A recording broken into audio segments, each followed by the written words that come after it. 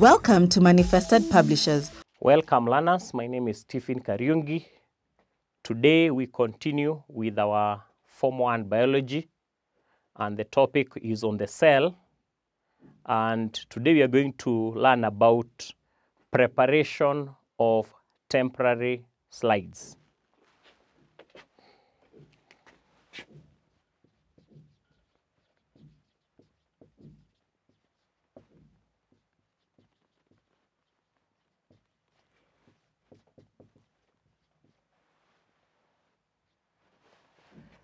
Uh, temporary slides, uh, they are uh, slides that contain specimens that are freshly prepared. Temporary slides are slides that contain specimens that are freshly prepared. And most of these specimens come from plant tissues. We do not prefer making temporary slides of animal tissues uh, because of the fact that uh, there are so many diseases that can be transmitted uh, between the animals and humans through body tissues. So we prefer preparing temporary slides uh, for plant specimens, but for animal specimens, we can use permanent slides. So we are saying that uh, temporary slides contain freshly prepared tissues, especially from plants.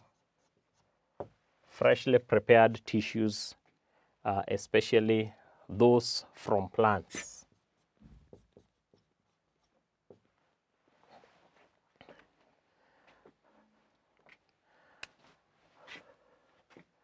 Procedure for preparation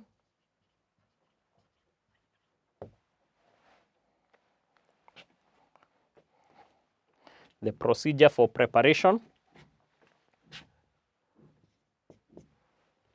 One uh, is that uh, we cut very thin sections using sharp scalpel or razor blade. You must cut very thin sections uh, using sharp scalpel or razor blade to prevent distortion of the cells. To prevent distortion of the cell structures. So you don't want to distort or to interfere with the parts. Uh, another consideration is that uh, the specimens are then put in water to prevent desiccation to prevent desiccation or drying up due to loss of moisture. So the moment you cut very thin sections using a sharp uh, razor blade to make sure that you don't distort the cells, you put them in uh, uh, in a, in water to prevent them from drying up.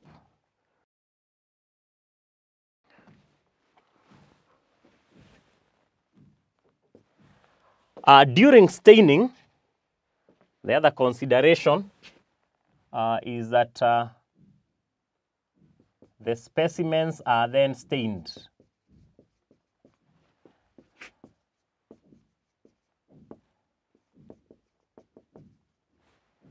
using a suitable stain, e.g., iodine, eosin, methylene blue. All those are stains that can be used to make the internal parts more distinct. To make the internal parts more distinct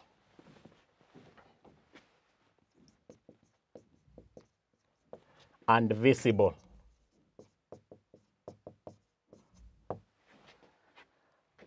And still on this, it is important to note that excess stain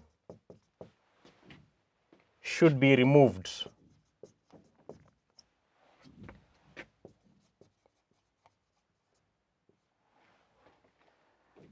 Using a tissue paper. In case you do excess staining, uh, you need to remove the excess stain so that uh, there is more visibility.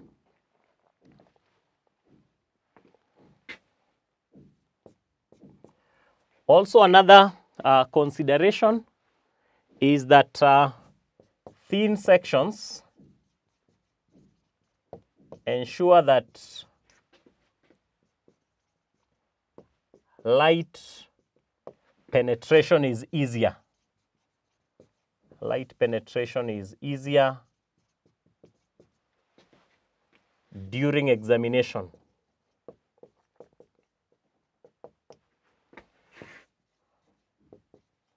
by use of a microscope.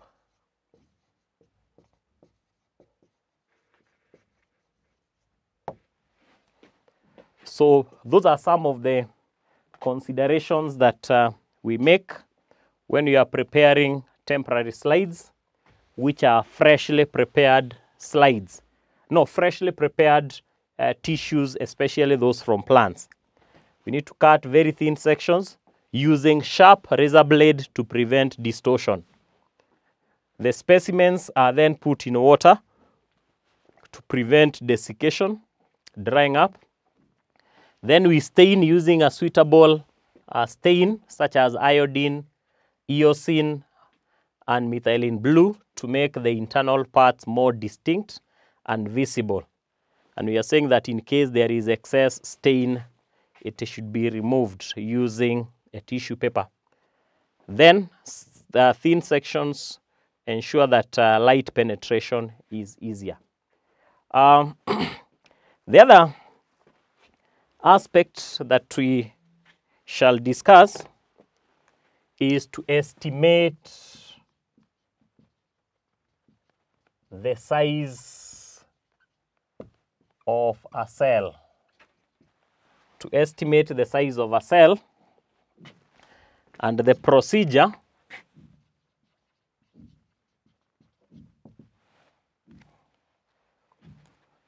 is as follows. One, uh, place a ruler.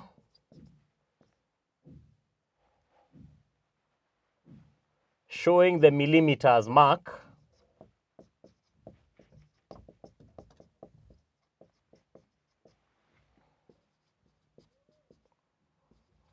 On a microscope stage to determine the field of view. So once you place a ruler on a microscope uh, slide, you observe uh, the field of view as shown. So you will see the markings of the millimeters.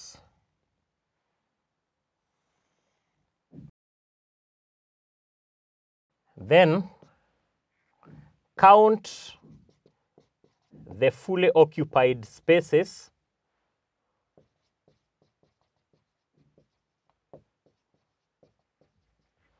to determine the diameter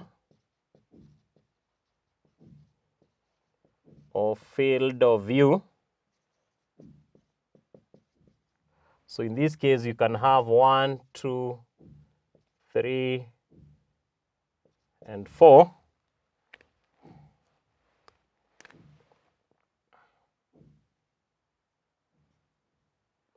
So these are the millimeter marks.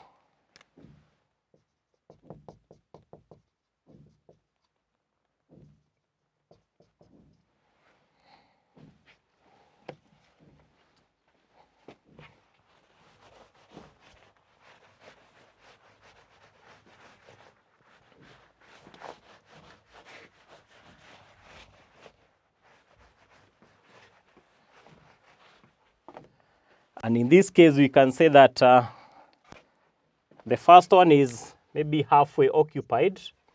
So the diameter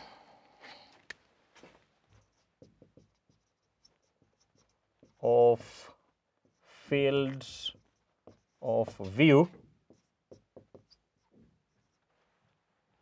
is equals to 4.5 that is this is a half the first one is a halfway occupied 4.5 millimeters which is equals to 4.5 times 1000 which is 4500 micrometers. So 1000 micrometers make 1 millimeter. So we must get uh, the diameter of field of view in micrometers. Uh, then after that,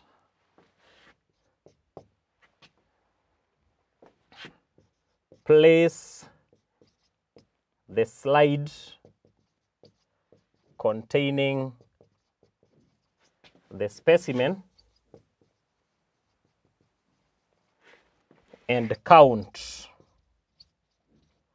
how many cells are observed. So, for example, if that is the field of view and these are the cells,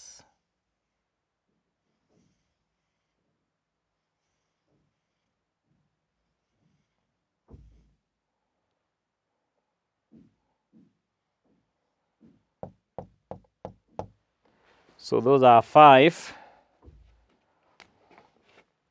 This one shows five cells.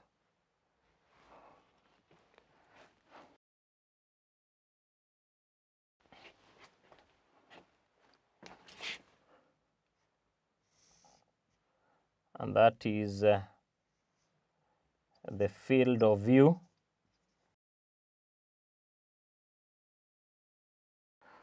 So, then number D lastly, calculate the size of each cell using the formula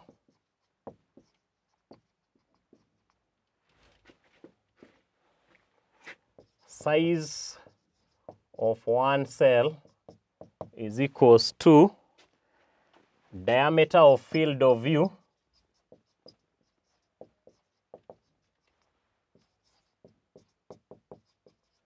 divided by the number of cells. So in this case, the diameter of the field of view was 4500 micrometers. And we had five cells, so divide by five. So that comes to about 900. So each cell will be 900 micrometers. So we have determined the size of uh, each cell. So basically, uh, we've learned how to prepare temporary slides and how to estimate the size of the cell. Follow the procedure. First of all, determine the field of view using a ruler, the side that has millimeter marks. Then count the fully occupied spaces. Here there are four, and then a halfway occupied. So 4.5 millimeters, change into micrometers, multiply by a thousand. You get 4500 micrometers.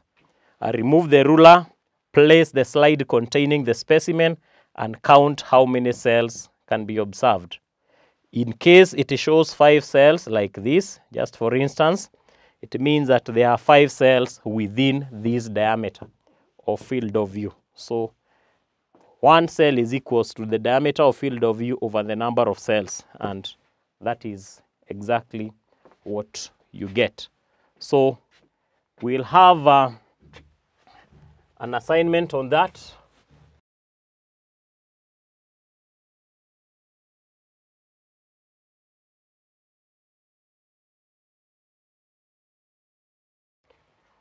So the assignment uh, for today, during preparation of temporary slides, why do we do the following?